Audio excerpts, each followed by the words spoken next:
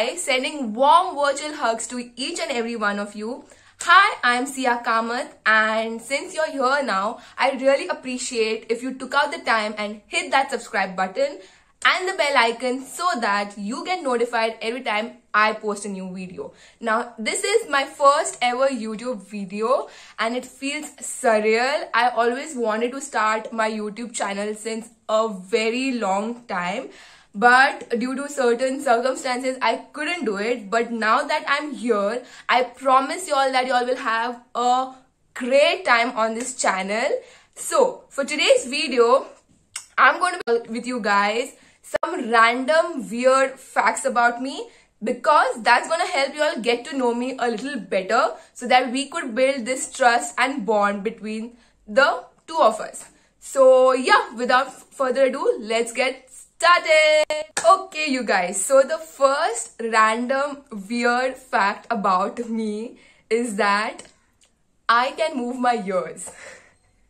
Now, I know that this huh? was a trait that was present in our ancestors and as we evolved, we were not supposed to have this trait because initially it was meant to help the organism pick up the sound waves but we don't need to do that anymore. But I don't know. I'm just weird and I can move my ears. So I'm going to show it to you all right now. See? I can move it while I'm talking to you. My earrings are just moving, beta. Yeah. See? I can move my ears. So that's very weird. But I think it's called atavism. That is appearance of ancestral characters. So yeah, the first weird uh, fact about me is that I can move my ears. Now, the second weird not hack did i just say hack? The second weird fact about me is that i hate frogs. Now believe it or not but i just can't stand random slimy creatures jumping here and there all the time. The croaking just gets on my nerves. I just i just get goosebumps every time i see a frog. I just can't can't stand frogs so yeah, I just I just hate frogs. Not like I want to kill them or something, but I just wish that they never like came next to me because uh it just uh I just hate frogs. Okay, the third random weird fact about me is that when I was two years old, I locked my mom inside the bathroom. Okay, so the, the story goes as um, I think I was upset about something and my mom went for a shower and she left me outside. And dad had gone for work. So now what i was asking her for something and she wasn't giving that to me. I think i think i wanted some toy or something and she had hidden it or something like that. I really don't remember.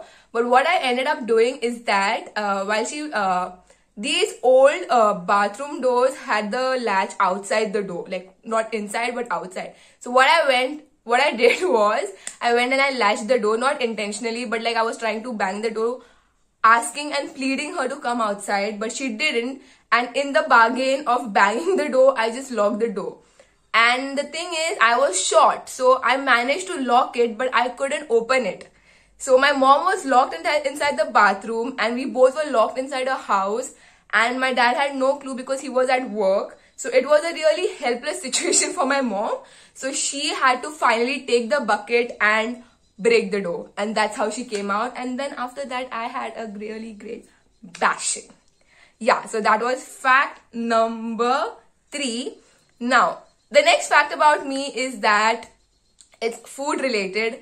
I'm just giving y'all a heads up. Please don't hate me. Please don't leave this video after i say this. But are you ready? I'm sure you're not ready for this. I hate hate pizzas.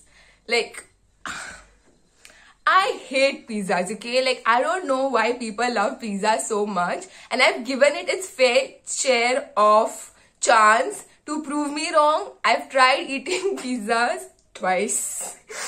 but in vain, I just can't get myself to like a pizza. The first time I ate a pizza, I puked.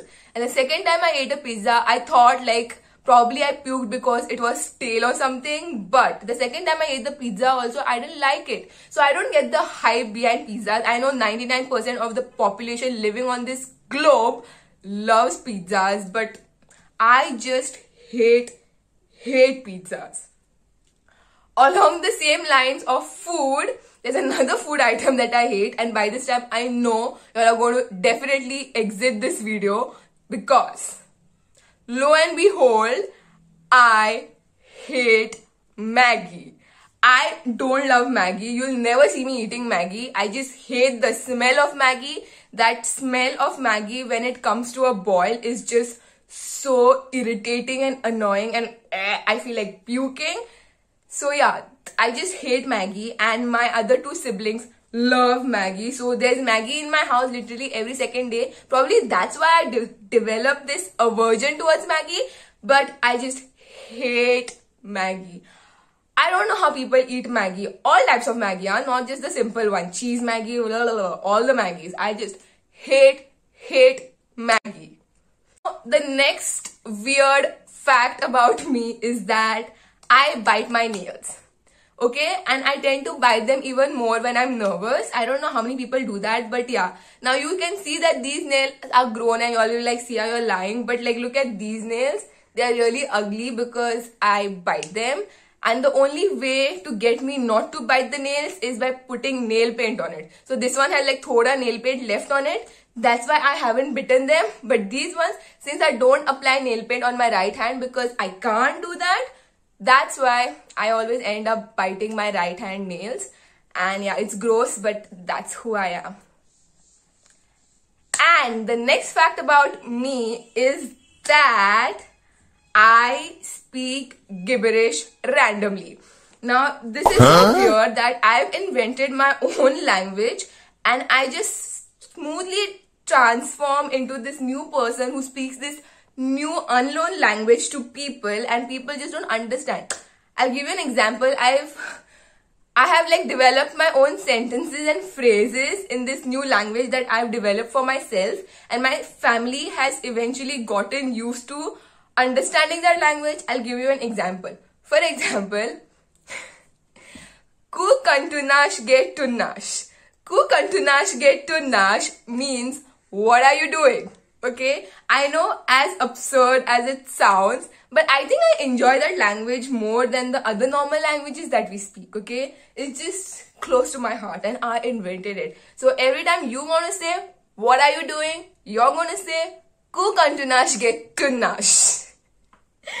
the next weird habit about me is that like holding things in my hand okay i don't like carrying a purse i don't even like holding my phone in my hand i just i just feel like i'm either going to throw it out or just i'm just going to leave it somewhere and forget about it so I just can't get myself to hold things in my hand. Like I need someone to hold it for me. That's the reason I never carry a bag and I just always want jeans who have a pocket or dresses which have a pocket. Like even this one has a pocket because I need to put it in my pocket. I just can't hold things in my hand. It's very annoying and I just feel like I lose it. So I always need someone to carry it for me. That's why I, I don't own purses. I just have one that was gifted to me by my friend. Otherwise, I don't. Because what's the point? Just don't carry stuff. Just don't carry stuff. Money is also in my pocket. I don't carry a purse. I just can't. Okay? Yeah, that's weird enough. But I just hate carrying things in my hand. The next annoying thing about me is that it's not annoying, but I know people are going to judge me for this, but it's getting as weird as it sounds. I haven't watched a single episode of Friends. Where is my crown? Where is my crown? I haven't watched a single episode of Friends. So every time there are Friends references, I'm just blank because I don't understand a thing and i'm also not a series person so like even if you ask me about the recent series also i don't know anything so i'm just so lost and like people are like what do you do then? Apart from like studies and whatever. I don't know how my time goes. Half my time goes in sleeping because i'm a sloth. I can sleep 14 hours 15 hours 16 hours continuously. I love sleeping. So yeah that's where i waste all my time. I don't need series to waste my time. So yeah and half of the time goes on youtube. Other than that I haven't watched a single episode of Friends. I don't know who this Phoebe and Chandler, all of them are. I've just heard their names and I've just seen their pictures. So all this Friends reunion was a big thing, but I just was like, hmm, what's the big deal about it? So yeah, I have not watched Friends. Okay, the knack, knack.